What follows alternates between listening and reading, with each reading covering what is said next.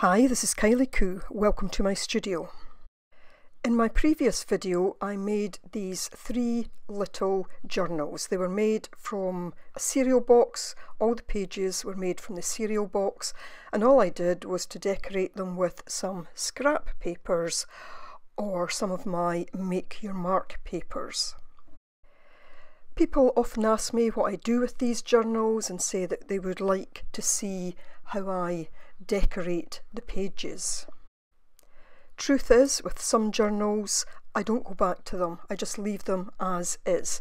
But I do want to do something with these little journals, so I might do, you know, a few little videos from time to time just showing me doing some pages. So you'd see there that all I've done is I'm selecting one journal, I've picked out three paints, uh, and I'm just going to more or less stick to those. I do introduce uh, an Inktense pencil later, but basically all I'm going to do is to use some more scraps, some paints, including gesso. I just use gesso rather than a white paint, and an ordinary pencil, an Inktense pencil, just to put some marks, etc. onto these pages. I'm not looking to create anything fancy, and I think this is just going to become about experimenting and just creating some fun pages. Now I do end up doing a kind of double page spread here.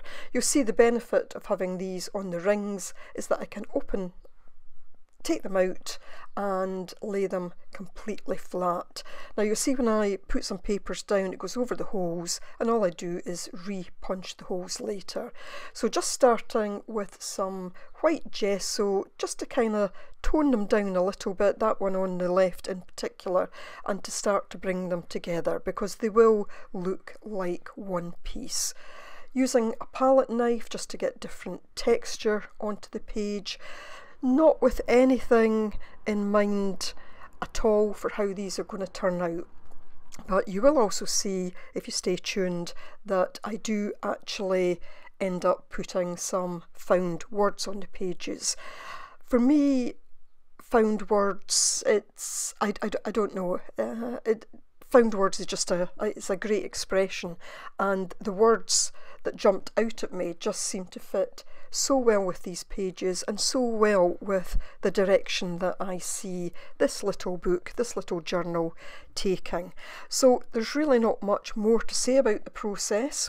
So I am just going to leave you for a few minutes while I work on these and you know I just hope you will kind of sit back enjoy the process and enjoy the music so I will come in I want to tell you about a project that a friend has done that I think is absolutely fabulous. So I'll come back in in a few minutes and just spend, you know, a minute telling you about that. So back soon.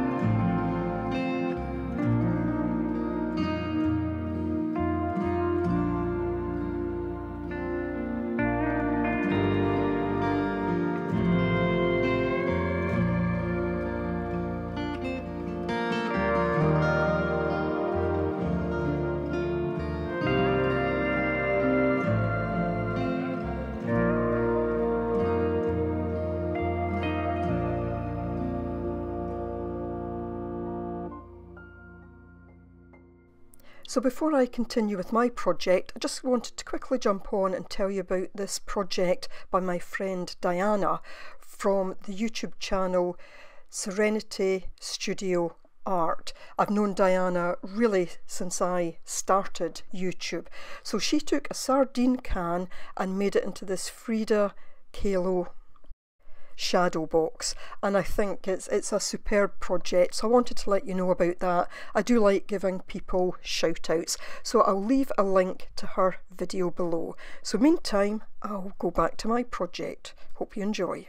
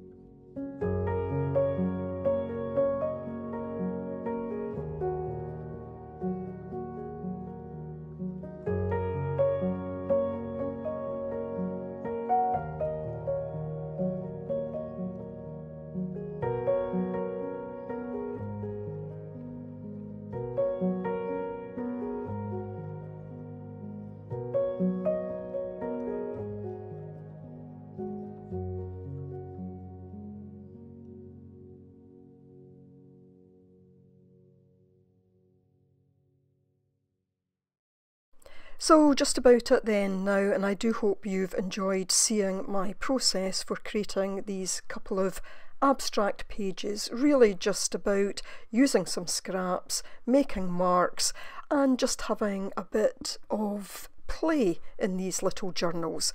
And they're of a size that just because they're small doesn't make it any easier and it doesn't make it any quicker. But I like working sometimes on a big scale and sometimes on a small scale.